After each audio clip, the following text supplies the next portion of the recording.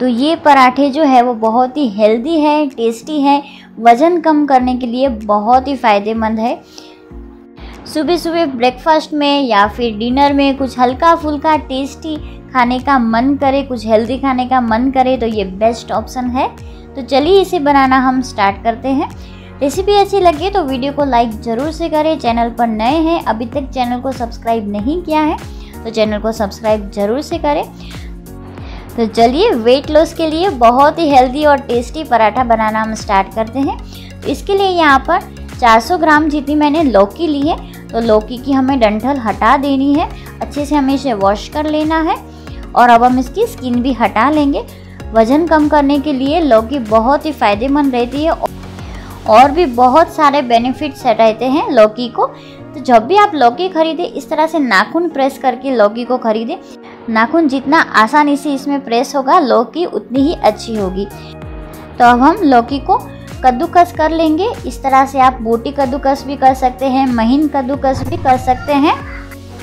तो यहाँ पर मैं इसे मध्यम साइज़ में कद्दूकस कर रही हूँ। अगर इस तरह से लौकी पसंद नहीं है तो आप इसके महीन टुकड़े करके मिक्सचर के जार में ट्रांसफ़र करके इसे पीस भी सकते हैं।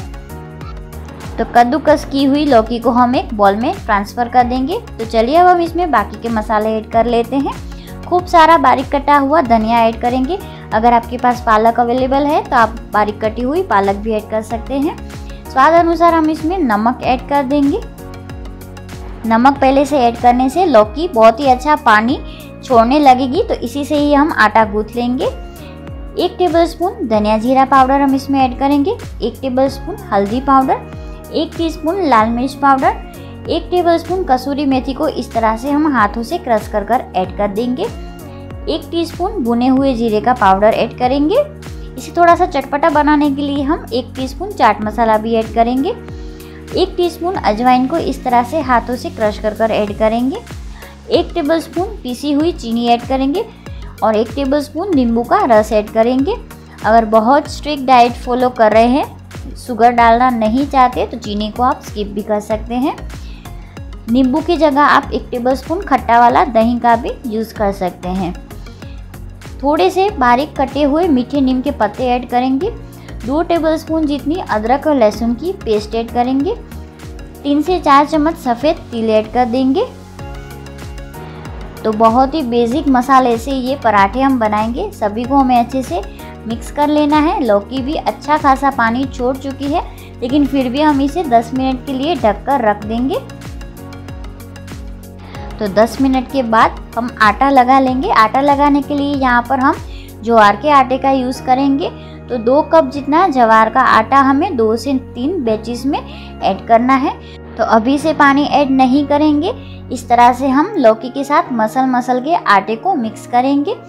अब पानी की ज़रूरत लगे तो गुनगुना पानी हम लेंगे। हल्का गर्म पानी लेना है आटा गूँथने के लिए। तो इस तरह से हमें चपाटी के आटे के जैसा आटा लगा लेना है। तो ये देखिए, आटा लग चुका है। एक टेबलस्पून घी लेंगे। इसकी जगह आप तेल भी ले सकते हैं और अच्छे से हमें इसके साथ मिक्स कर लेना है। घी के साथ हम इसे थोड़ा सा मसल लेंगे और हमारा ये जो आटा है, पराठे के लिए वो रेडी हो चुका है। तो चलिए अब हम पराठा बनाना स्टार्ट करते हैं। इस तरह का बटर पेपर लेना है। बटर पेपर अवेलेबल नहीं है तो और भी कोई प्लास्टिक सीट अगर आपके पास अवेलेबल है तो उससे भी आप इसे बना सकते हैं। आटे के गोले को जवार के सूखे आटे में डिप करके हम रोल करेंगे। गेहूँ का आटा चाहे तो गेहूँ का आटा भी आप ले सकते हैं। तो इस तरह से हमें हल्के हाथों से रोल करना है।